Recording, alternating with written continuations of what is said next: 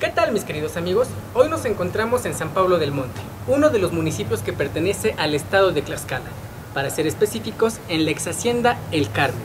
Así que, acompáñame a conocer parte de su historia.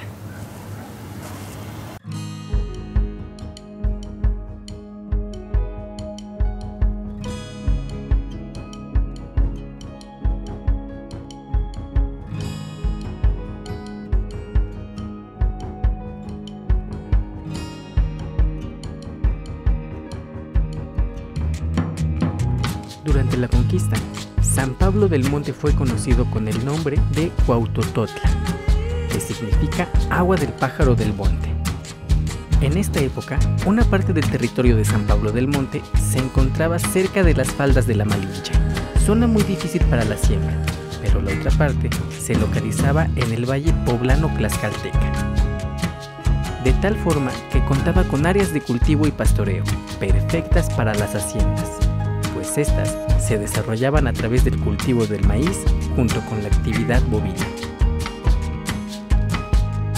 Tlaxcala ha destacado por contar con exhaciendas, algunas en excelente estado, que incluso ofrecen sus instalaciones como hospedaje o para eventos sociales. Y otras, lamentablemente, se encuentran en ruinas, como esta que estamos visitando el día de hoy conocida como la ex hacienda de la Concepción Avaroa, dentro del barrio El Cristo. Lamentablemente, algunas personas piensan que hay dinero oculto en las paredes o los pisos de lo que algún día fue esta ex hacienda. Por ello han venido y hecho hoyos por doquier. A pesar de que se encuentra en ruinas, es una de las mejores conservadas en el municipio cuenta con una capilla dedicada a la Inmaculada Concepción, y es importante mencionar que año con año recibe fieles de distintos barrios y pueblos, que acuden para festejar a la Virgen María.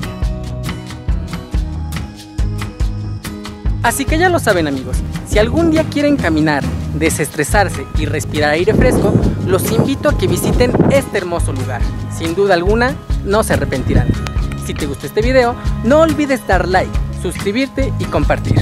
Nos estamos viendo, banda. Adiós.